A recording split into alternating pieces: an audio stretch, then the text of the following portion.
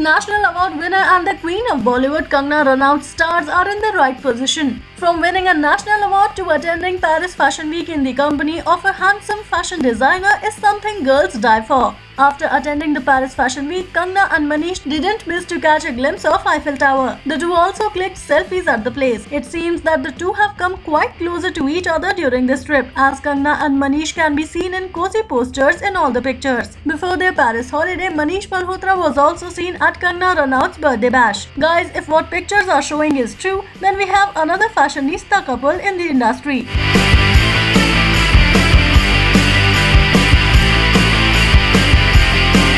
Well, thanks for watching this video. Now hit the like button and subscribe our channel to watch more. See you in the next video. Till then, enjoy.